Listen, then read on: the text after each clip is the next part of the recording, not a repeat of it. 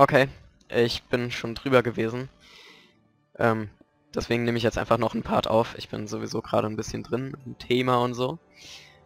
Ja, äh, nochmal zurück zu diesem Rumgehate. Ich weiß nicht, wenn ihr den letzten Part jetzt nicht gesehen habt, ist vielleicht ein bisschen blöd, äh, dass ich hier direkt drüber rede, aber dann schaut euch einfach den letzten Part an oder keine Ahnung, ihr könnt es, denke ich, auch so noch peilen, worauf ich jetzt raus will.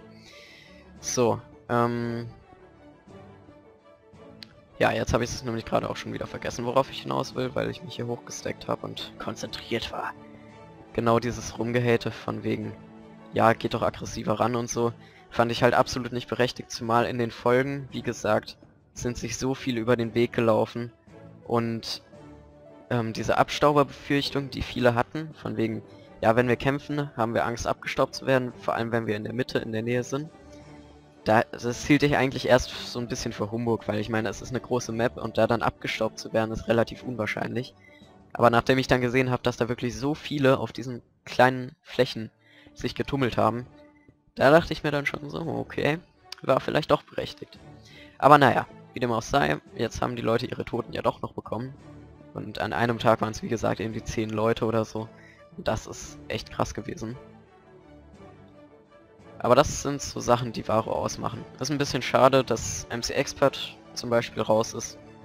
Ähm, der konnte wahrscheinlich nicht viel machen. Wie gesagt, ich habe die Folge von Weiß Weiß und Zander noch nicht gesehen. Aber ja, 2 gegen 1 ist schon ja ein bisschen mies und die sind halt beide Full Diamond, glaube ich. Da machst du halt nix. Ja, und um Castcrafter ist es mir auch ein bisschen schade, weil den mag ich und der ist auch ziemlich gut eigentlich. Vor allem, oh, in der einen Folge, ey, es ist so krass. Die habe ich bei Zander schon gesehen. Das war die Folge, wo keiner gestorben ist, aber nicht so viele gesehen haben. Ähm, da ist... Also, Castcrafter und Mr. Moore haben irgendein anderes Team verfolgt. Ich weiß gerade nicht mehr wen, tut mir leid. Auf jeden Fall waren die halt in der Verfolgung und dann kam Zander und Weiß Weiß von hinten Zander kickt Castcrafter in eine Schlucht rein. Der wäre an Fallschaden hundertprozentig gestorben. Aber der schafft es einfach noch MLG Water zu ziehen. Die Folge kommt heute bei mir. Ich freue mich schon so auf die Szene, Alter. Ich hoffe, der hat die übelst krass bearbeitet, weil das ist echt... Also, MLG Water in so einer Situation, wo von hinten welche kommen, man überhaupt nicht damit rechnet und sowieso aufgeregt ist von Kampf und überhaupt und sowieso. Da dann die Ruhe zu bewahren und MLG Water zu schaffen, das ist echt krass. Also ohne Witz, Props. So, machen wir uns mal ein paar Quarzblöcke, die nehmen nicht so viel Platz im Inventar weg. Zack. Und das hier lege ich jetzt einfach mal hier rein, wieder zumüllen alles. Und dann verzaubern wir mal unsere Rüstung. Schwert ähm, wird, denke ich, auch bald abgenutzt sein, dann kann ich da mal Neues verwenden. Oh, oh ja, guck mal einer an, hat Pointer sich ein Dach gebaut. Ich, ah ja, stimmt, das wollte er ja auch aus Quarz machen. Die Blöcke könnte ich ihm theoretisch noch geben, aber es sieht schon ziemlich fertig aus. Ah, deswegen hat er auch Quarz gefarmt in seinen Folgen. Vielleicht gar nicht wegen der Erfahrung. Und hier so ein Balkon. Sieht ein bisschen komisch aus, weil die Stützen hier so lang sind, aber insgesamt schickes Ding. Schickes Ding. Und hier die Bücherregale sind auch fast fertig. Hier fehlen nur noch ein paar. Hier könnte man noch welche hinmachen. Also ich glaube, das reicht auch so schon, aber... Ja, generell... Ach, Lapis Lazuli braucht man ja, ganz vergessen. Mann, Mann, Mann. Ich glaube, La Lapis musste ich auch bald mal wieder farmen. Da habe ich nicht mehr so viel, oder? Direkt mal nachschauen. Ach, dann nehme ich noch das Eisen hier mit. Das ist gerade fertig geworden. Und dann kann ich das direkt runterlegen. Ich weiß gar nicht, wofür wir das Eisen dann noch überhaupt brauchen, so viel. Ich denke mal, ich kann mir noch einen Amboss machen und den zur Verfügung stellen. Ich glaube, das mache ich nachher noch. Wenn ich dran denken sollte. Ach, ich nehme einfach mal alles mit. Denn ja, mit dem Amboss können wir uns ja noch ein bisschen Rüstungszeug und so weiter ähm, kombinieren. Was jetzt nicht unbedingt viel Sinn macht, wenn man immer auf Level 30 verzaubert. Da kriegt man ja schon gutes Zeug drauf normalerweise. Und dann nochmals was zu, kompliz äh, zu kombinieren ist schon hart. Haltbarkeit 3. Hm, ich weiß nicht, will ich das? Es ist eigentlich nicht schlecht. Ich meine, ich brauche die Rüstung jetzt nicht für krasse Fights und so, dass ich da Schutz drauf brauche. Haltbarkeit 3 ist demnach schon okay. Ich guck mal, was ich auf die Hose bekomme. Auch Haltbarkeit 3. Schusssicher 3. Das wäre auch geil. Gegen Skelette und so. Oder bringt das überhaupt was gegen Skelette? Ich denke aber schon. Ich mach das einfach mal. Okay, es ist nur schusssicher 3. Ah, hätte ich jetzt schon mit ein bisschen mehr gerechnet. Feuerschutz 2. Hm. Oder Schutz. Schutz 3, nehme ich mal. Schutz 3 und Dornen 2. Alter, wie geil. Also Dornen, für die, die es nicht wissen, ist, ähm, wenn ich von Mobs geschlagen werde und die Rüstung an habe, mache ich den Mobs Schaden, wenn sie mich schlagen. Also, wenn ich geschlagen werde, bekommt der Gegner schon direkt Schaden. Bei Dorn 2 dürfte das schon sogar schon ein bisschen was ziehen. Das ist auf jeden Fall eine ganz coole Sache. So, das legen wir mal hier rein. Und hier haben wir auch noch so ein Steinschwert. Wisst ihr was? Das verwende ich jetzt mal. Und dann mache ich noch das Eisenschwert kaputt und dann ist auch mal gut. Eisenspitzhacke habe ich auch noch drin.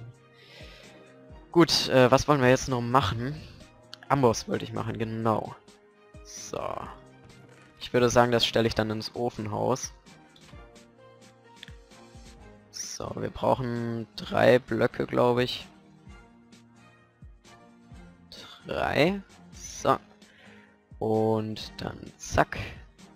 Machen wir uns einen Amboss. Ich weiß nicht, ob schon jemand einen gemacht hat, ob beziehungsweise ob die Pointe einen gemacht hat. Voltokant ist ja immer noch inaktiv leider. Äh, das ich mir mal so. Aber wir werden es gleich sehen. Beziehungsweise, ich weiß nicht, ob, wenn er einen gemacht hätte, ob der dann, dann auch hier reingestellt hätte. War hier gerade noch ein Ofen am Leuchten? Okay, habe ich mir eingebildet. Hm, ich würde sagen, den stellen wir einfach mal... Ja, wo stellen wir den hin? Stell den einfach mal hier mitten rein. So. Wenn man reinkommt, sieht man den direkt. ich könnte jetzt wieder ein Schild dazu stellen, sponsored by, aber... Naja, das wird überbewertet. B-Pointe macht ja echt das meiste. Da will ich gar nicht rummeckern. Und der Turm ist echt so übertrieben hoch. oh Mann. Oh, hier ist... Shit. Hier sollte ich vielleicht auch nochmal Fackeln hinmachen. Eieiei. Wäre da jetzt wieder ein Creeper gespawnt und hat mir es nochmal hochgesprengt. Das wäre bitter gewesen. Und hier habe ich die Fenster irgendwie richtig asynchron. Sieht das so gut aus? Ach, ich lasse das so. Ich lasse das. Ich lasse das so echt. Das geht schon klar. Und hier oben, ja. Hier könnten wir... Ich würde sagen, hier mache ich auch Kisten rein. Das wird aber nicht mein Lager, sondern einfach nur zur Deko. Äh, zack. So, und hiervon noch welche. Elf Kisten, das ist erstmal genug, denke ich. Dass wir einfach hier so ein bisschen... Ja, wie zur Deko halt haben. Ich meine, auf dem Dachboden wird ja aus Gerümpel und so hingestellt. Das hat dann schon ein bisschen Stil. Es wäre cool, wenn ich eine Behutsamkeitsspitzhacke hätte. Weil dann würde ich mir, glaube ich... Also, ah, ich kann die sogar, ich kann die sogar öffnen. Okay, das ist cool. Weil dann würde ich mir ein paar Spinnweben machen und die hier so hinhängen. Aber naja. Mit Inneneinrichtung wollte ich mich auch mal noch drum kümmern. Ganz vergessen. Created a private chest successfully. Habe ich noch nie verwendet. Egal. Ich würde sagen, wir könnten theoretisch mal so ein bisschen erkunden im nächsten Part. Fraglich, ob sich das jetzt noch lohnt. Ich habe ja kaum mehr Essen dabei. Was ist denn da los? Habe ich noch irgendwo... Moment, habe ich kein Essen mehr?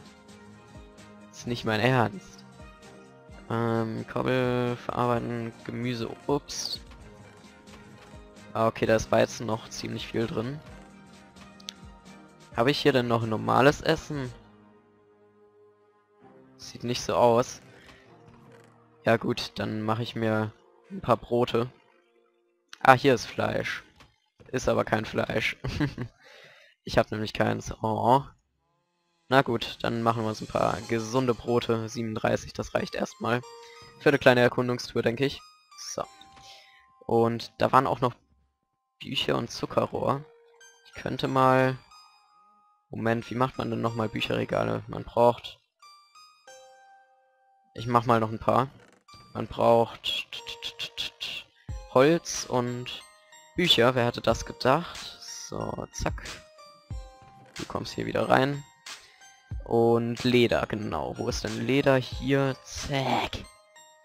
Und das packen wir da rein. Machen wir uns ja, sieben Bücher sind jetzt gerade, äh, acht Bücher sind jetzt natürlich günstig, weil ich dann nur zwei Bücherregale machen kann, aber besser als nix. Och komm ey. Richtig doof verteilt. So. Okay. Dann kommt das hier rein. Wobei, ein Stack nehme ich mal mit, vorsichtshalber. Dann das kann hier rein. Und das kommt wieder hier rein. Lapis sollte ich auch nicht mitnehmen, unbedingt. Nicht, dass ich das dann noch verliere. Hm, soll ich dann, wenn ich eine Erkundungstour mache, schon das Schwert mitnehmen, das Gute? Wäre eigentlich ja sinnvoll. Ich denke, das mache ich dann auch. Oder vielleicht mache ich auch eine Erkundungstour dann mit Pointer das nächste Mal. Muss ich ihn mal fragen, ob er da Bock, Bock zu hätte. Ich denke schon. Was wollte ich machen? Genau hier. Bücherregale. Zack und zack. So, dann fehlen jetzt nur noch 3, 4, 5, 6. Und dann ist auch fertig. Ja, macht die Tür noch häufiger auf und zu. Oh, und was ist das hier hinten? Das gucke ich mir noch ganz kurz an. Ich glaube, dann ist auch die zweite Folge vorbei. So, gucken wir mal. Okay, eine Werkbank. Ah, okay. Die Netherwarzen Farm.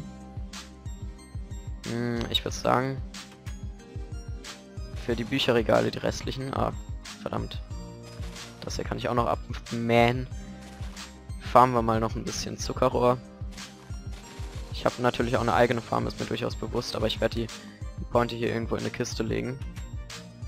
Wobei, man findet das möglicherweise nicht. Ich nehme sie mit. Wobei, nee, das ist assi. Ich lasse ihm zumindest ein bisschen was da. Wobei, eigentlich alles. Der hat ja auch noch mal ein Enchantment Table drin, als Deko wahrscheinlich. Achso, die hat er gesichert. Ja, okay. Okay, wenn du nicht willst, dann kann ich da auch nichts für. Kannst du mir nicht zur Last legen, ich wollte dir nichts abgeben. Wenn du deine Kisten sicherst. Gut, dann packe ich das da mal noch ganz kurz rein, provisorisch, und wir sehen uns hoffentlich im nächsten Part wieder. Bis dann und ciao.